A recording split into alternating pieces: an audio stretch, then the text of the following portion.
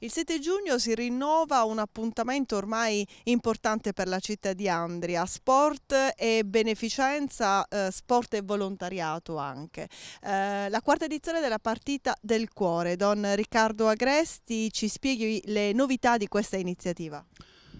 La, la, manifestazione vede il coinvolgimento non solo degli imprenditori della nostra città ma anche eh, la squadra de, eh, italiana degli attori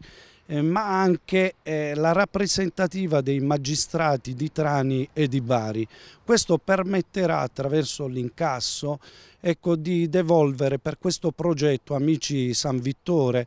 per intenderci eh, la vecchia eh, comunità incontro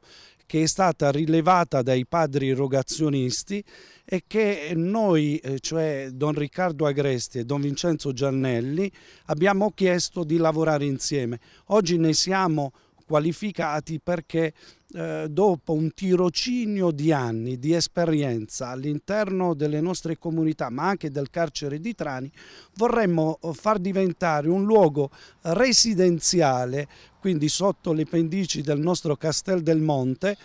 per dare un impiego di lavoro a coloro che hanno sbagliato nella vita e che non riescono più ad integrarsi all'interno della società. Questo non è un sogno semplicemente, ma è un progetto incarnato all'interno dei nostri cuori e che adesso noi vorremmo farlo rimbalzare eh, in tutte le coscienze per capire che una società non va emarginata ma una società va integrata in tutti i suoi componenti, in tutti i suoi aspetti. Noi entreremo nelle scuole nei prossimi giorni, diremo ai nostri eh,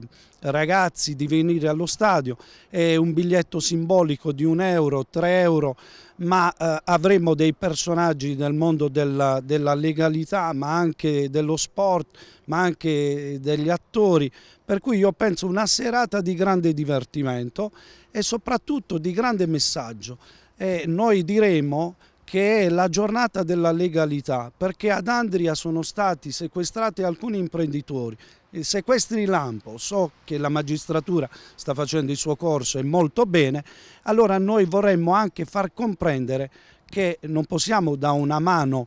eh, a coloro che sono in difficoltà come eh, rubano e così e poi dall'altra parte vanno proprio dagli imprenditori insomma a chiedere queste risorse. Questo è il contraddittorio che noi vogliamo far rimbalzare. Non è possibile questo